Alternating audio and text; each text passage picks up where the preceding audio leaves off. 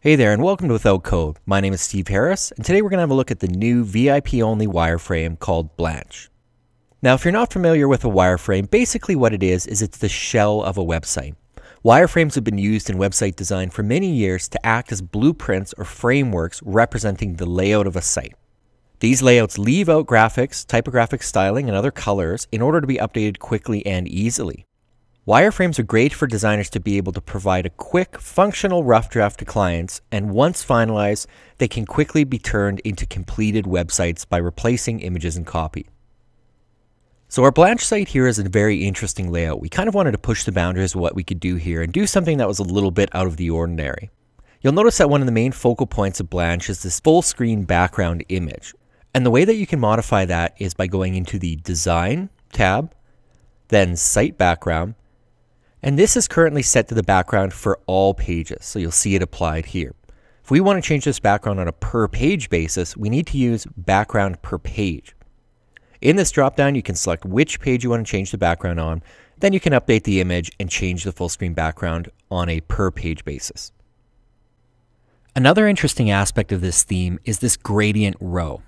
So the way that we've achieved this is first we have our row up top that has our photo and our text in it.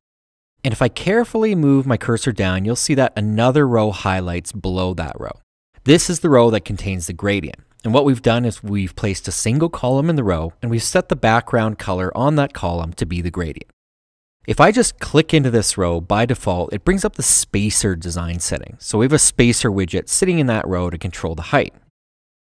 If I want to edit the background color of this column, the easiest way to do that is when I carefully mouse over that area, if I control click or right click and I go to select container and I'm going to select the column container that it's in. Now I've got the column selected, we can click edit design and then we have a background color within and that's set to the gradient. So I could change the gradient from there and we're good to go. Blanche also comes with a variety of page layouts. If we click on the navigation menu here, you'll see that we have a ton of different pages, each of them unique. So we can go ahead and work through the site, keeping any pages we want and deleting out any layouts we don't need. In order to replace images, we simply click on an element, click replace, and then we can drop in a new image. In order to edit text styles, of course, we can edit them right on page, or if you want to edit the global styles, just go up to the design tab, go to global text, and in here we can set our global headlines and body text styles.